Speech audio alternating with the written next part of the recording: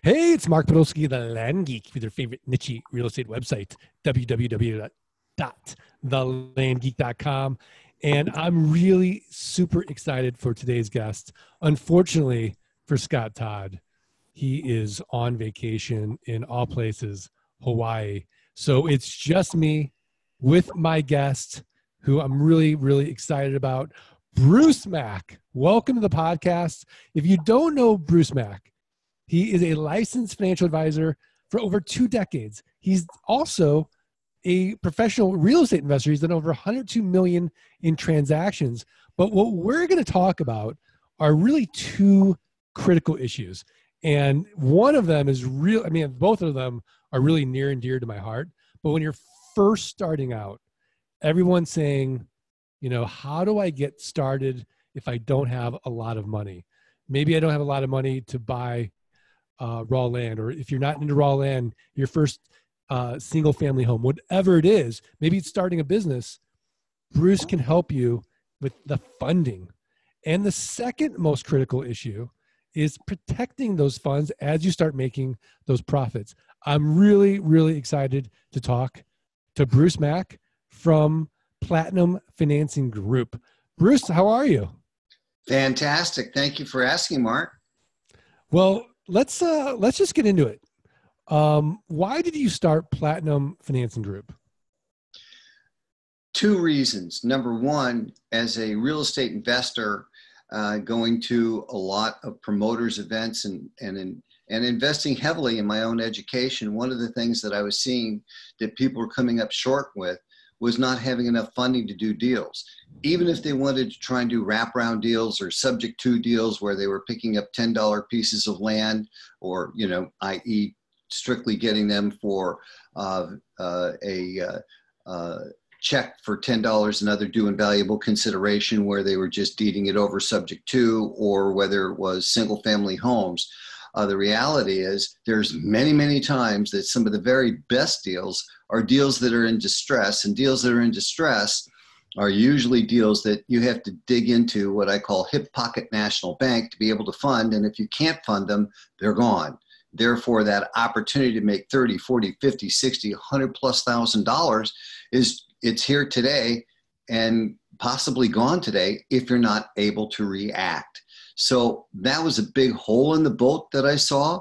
And it was a bolt that I knew that I could successfully plug because being a licensed financial advisor, having owned uh, my own licensed and bonded uh, credit repair company for years, uh, I knew that I could bring financing to real estate investors and be able to get them the dollars that made sense for them to be able to plug into the real estate investing equation to be able to get the arbitrage i.e., what they paid for the money versus what they could make with that money, uh, to that, how critically important that was. So that's how I got started. It was, I felt, because there was a, a huge hole in the boat that, and it was a void that we felt that we could successfully fill. Yeah, I mean, if I went to a REIA meeting, right, there would be no shortage of guys or gals in there, you know, saying, "Oh, you know, there's tons of private money out there. We're hard money lenders, and you can borrow at 13, 14, 15 percent, you know, depending on the deal." What makes your your sort of uh, financing solution better? Well, we have a number of financing solutions. So let's start with hard money. Uh, if it's hard money, depending upon the deal, we have hard money that's in single digits uh, instead of double digits. Uh, so that's one, and we have uh, hard money and or, private money that's available in all 50 states.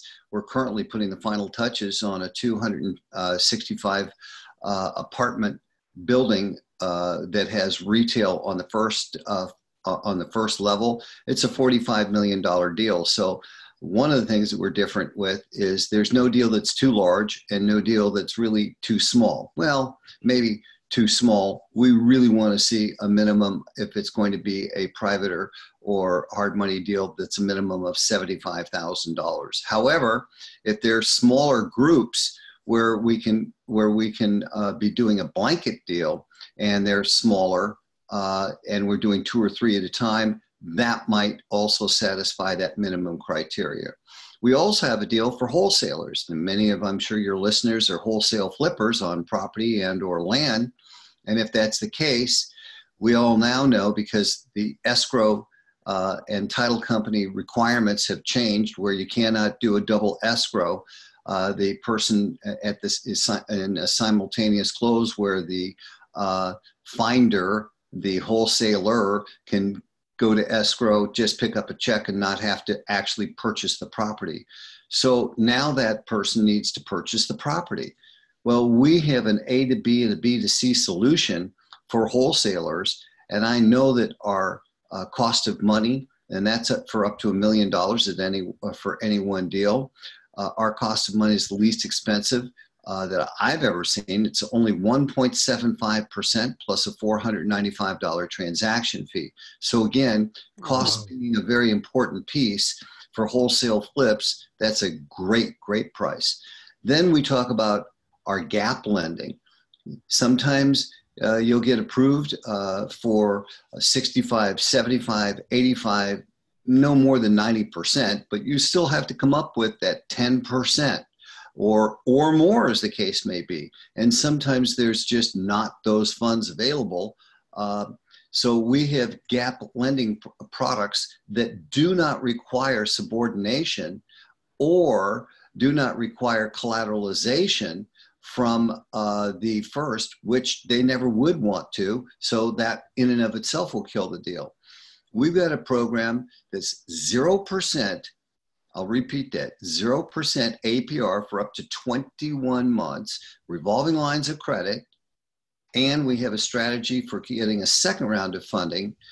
So let's just say that the average was 15 months. With a second round of funding, we can get almost three years of 0% APR. We can show you how to implement that strategy. And the average fund out on that is $75,000 as much as $150,000 on a first round of funding. And that's a FICO driven product. It has nothing to do uh, with W 2 or provable income because it's a stated program. There's no uh, business plans, there's no uh, tax returns. It's a very easy program to qualify for if you've got the if you've got the uh, FICO. And sometimes people don't have the FICO, and we can even help there. What I'm saying is, is oftentimes people have repressed FICOs because they have high utilization on their credit card usage.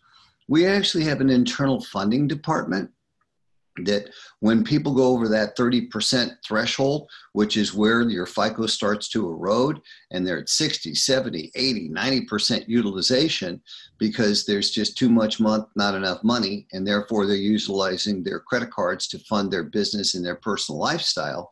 So their credit cards are charged up, therefore their FICO is reduced. We actually have an internal funding department, Mark, that will pay down people's credit cards down to that magical 30% so that within a matter of weeks, their FICOs will skyrocket above 700. Then we can put them through, then we can get them the maximum amount of funding. So it's a ecosystem that really is a win-win scenario.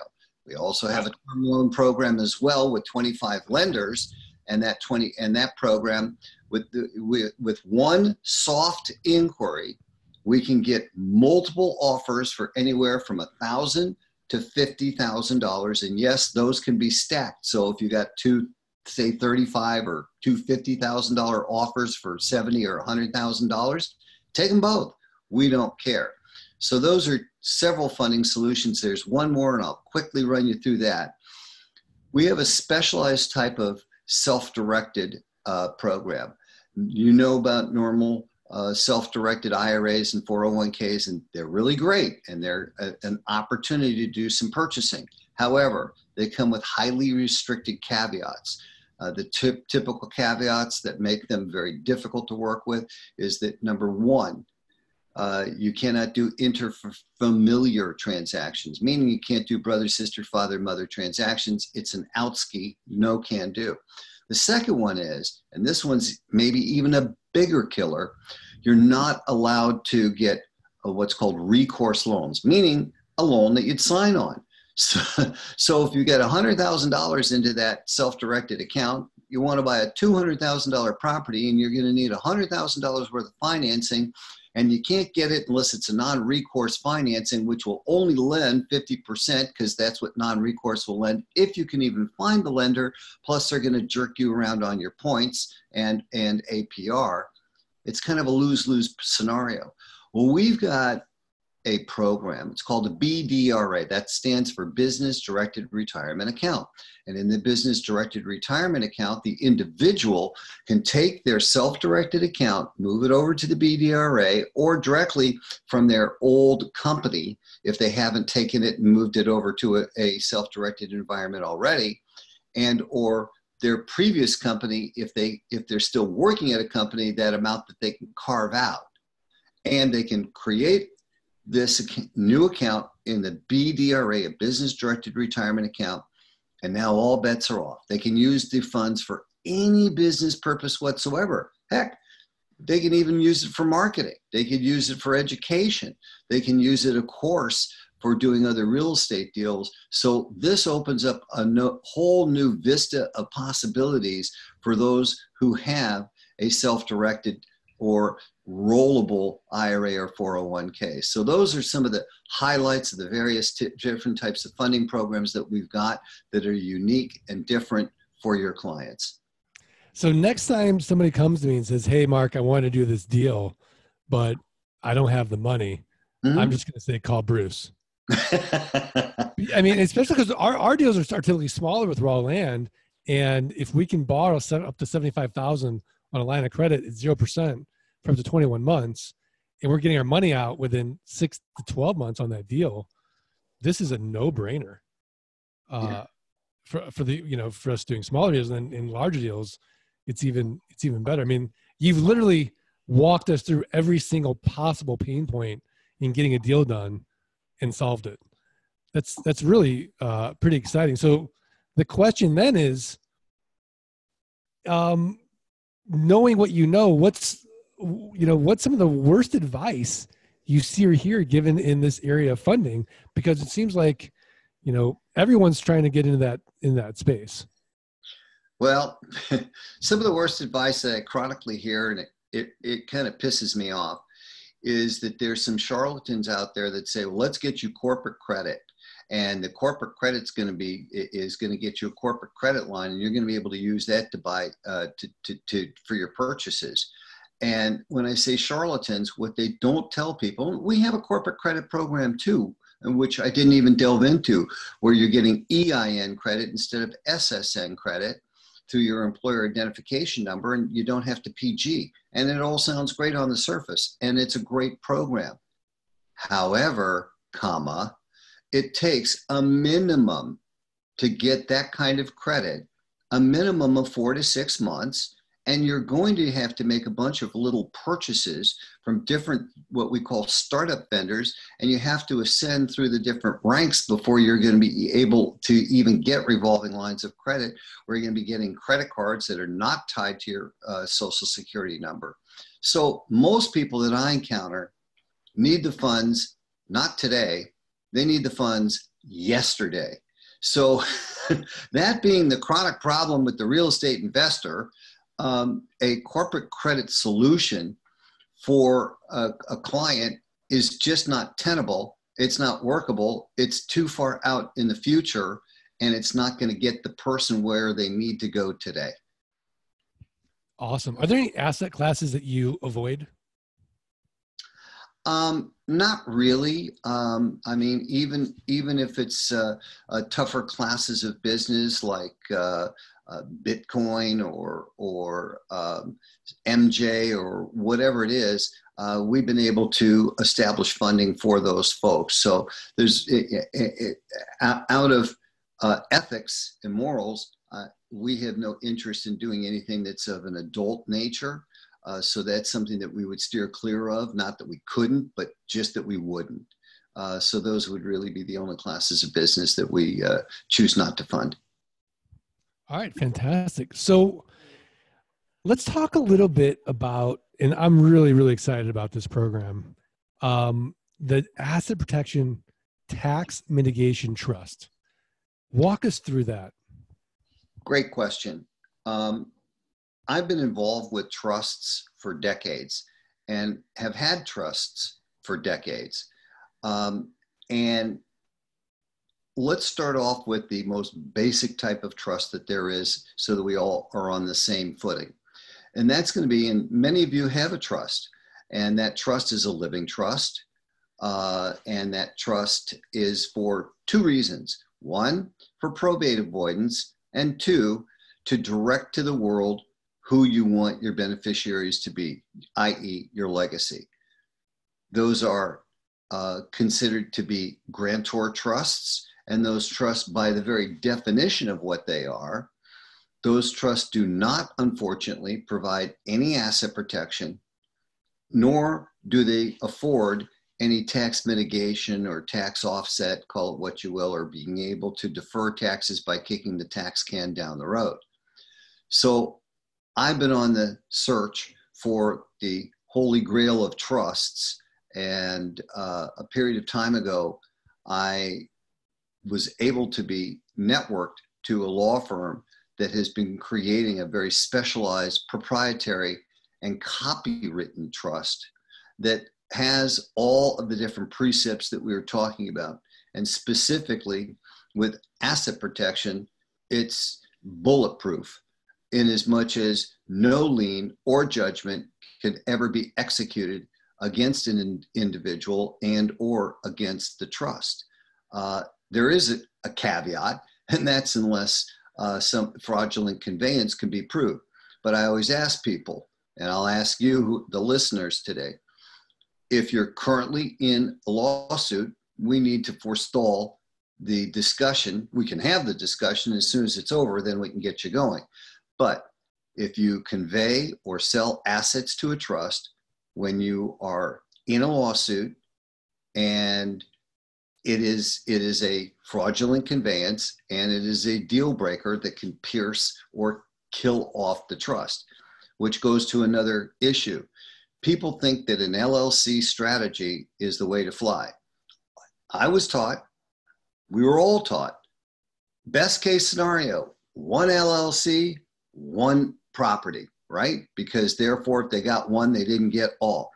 But what wasn't taught was because we are usually in an LLC member managed single member and or partner managed i.e. you and your wife and or you your wife and a partner these types of entities are easily pierced because the alter ego uh, or facade argument that can be used in the points and authorities should a litigator want to rip into it. And therefore, once they prove that it's just you masquerading or hiding behind that corporate veil, they can pierce it, get inside, and you can be wiped out. And not only wiped out for the one, but you can be wiped out for multiple LLCs depending upon how far the liability uh, transfers. I'll give you another example. A very dear friend of mine, a lawyer, known him for over 50 years, was driving home got into a very bad traffic accident. No, he was not drinking. But nonetheless, he got into a bad traffic accident. And people feel, well, I'll just umbrella up, meaning I'm just going to get an umbrella. I'm going to be safe. I don't have to worry about E&O. I don't have to worry about D&O. I don't have to worry about liability, slip and falls, blah, blah, blah, blah, blah. Not necessarily the case, guys, because sometimes when we see things like $49 million dog bites and we see mesothelioma claims for uh, 30 plus million dollars and the average one being two plus four million dollars and so on and so forth. And or in steve's case the judge wanted to make an example out of him they pierced they went right through the $3 million umbrella and just to make a, an example out of poor steve steve got hit with a punitive out of pocket cash demand for $250,000. Now, luckily, he actually had the money to pony up. But think about it. Do you have the money to pony up? And or what impact would that have on your life or lifestyle if you had to come up with $250,000? So the fact that uh, a trust affords bulletproof asset protection, non-pierceable asset protection is absolutely huge. And as uh, real estate investors, you know we all have a bigger target painted on our back. And it just makes good sense to explore and see what this is all about. Secondly, there's a tax mitigation component to our proprietary copywritten trust. Laws of perpetuity so state that the trust distributes 21 years after the last of the beneficiaries deceases and the last of the beneficiaries' heirs decease, which means ostensibly you're not around, they're not around, and the beneficiaries are not around. So when the trust distributes, the tax responsibility cannot at that particular point be incurred by anyone that you are or your family is connected with. Now, the nice thing is, as, as real estate investors, all passive income, that would be rental and lease income, that would certainly include long and short term capital gains. And those are the types of income that we are involved with as real estate investors. All of that can be deferred by going into the corpus of the trust and deferred in perpetuity. The question that I always get asked is but that means if it goes into the trust, can I still have the ability to access those funds? The answer is, is as trustee and compliance overseer, you have total direction over the trust and you will be creating when you're operating the trust trust expenses. And virtually everything becomes a trust expense rather than three items food fun and fashion. Well we have an annualized deduction as individuals of 22 or i should say as a married couple of 24400 and then the first tax bracket the next 19000 is at 10% so how much food fun and fashion do you need guys? And the rest of it's all usable in your trust. Trust buys properties. Trust does maintenance on properties. Heck, trust pays for the cable bill at your home, for repair and replacement of furniture, pays for the pool guy, pays for the gardener, pays for the insurance. I think you're starting to get the idea that the trust and trust expenses are much wider in terms of the birth, meaning the, the, the depth of expenses that are attributable to the running and maintaining of a trust than ever would there be in normal deductions, business and or personal. So this is a great program and our average client is seeing on an annualized basis a 75 to 95 plus reduction in their taxes if they have the right type of uh, tax liability and the right types would be of course investor type uh, transactions that they're involved in. So it's it's a win-win. Not only can you get great asset protection, but you can uh, get this tax deferral component that is so essential for us and take the additional funds that you would have paid by kicking the tax can down the road and use those to fund your uh, fund your business and reinvest. Yeah, I mean that leads to like we could do a whole other podcast just on asking questions about this uh, this business trust and the proprietary component of it and everything involved in it. Um, I think it's outside of you know this podcast, and I, I would tell everybody listening that um, you know they should talk to you, talk to their um, their CPA, and um, in in all those types of things as well to to to look into that even further. Uh, but from the sound of it, I don't know of anyone that wouldn't be able to use this business trust. Now, I'm technically, because this is my full time business, is buying and selling raw land. You know, even if I bifurcate some deals as an investment, really the IRS is going to look at me as a dealer in raw land. Well, so you know, I wouldn't be able to use the trust. That is absolutely not correct. And and it's not correct. Okay. Back up on two statements you made, if you don't mind. Number one, uh, the get with the CPA statement.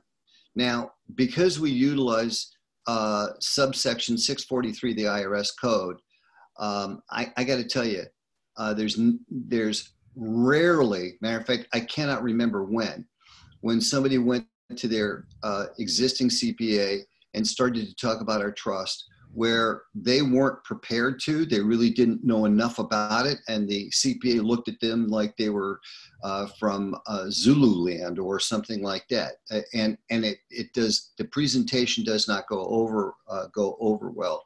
Like likewise, my suggestion would be uh, let, that we would do a complimentary consultation, and at that particular point, if they even wanted to involve their CPA, yes, I've got we have enrolled agents with the IRS. We have CPAs, we have tax attorneys, we have uh, accountants.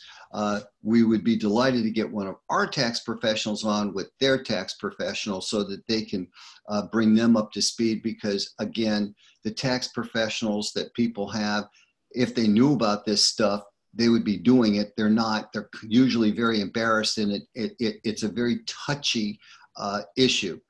Uh, the second one was your dealer status uh, discussion. And, and I got to tell you, Mark, 99 out of 100 people uh, touch upon that and say, hey, this is a great thing, but I'm such an active real estate investor. And we all know the reality is you can be, uh, you can be classified as a dealer uh, with having done just one deal. It doesn't take 6,000 deals or 600 deals or what have you. Unfortunately, one will get you there.